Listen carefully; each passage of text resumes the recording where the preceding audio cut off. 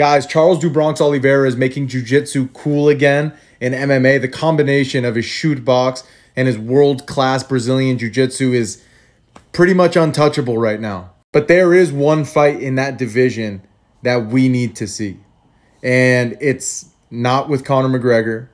It's not with Beneil Dariush.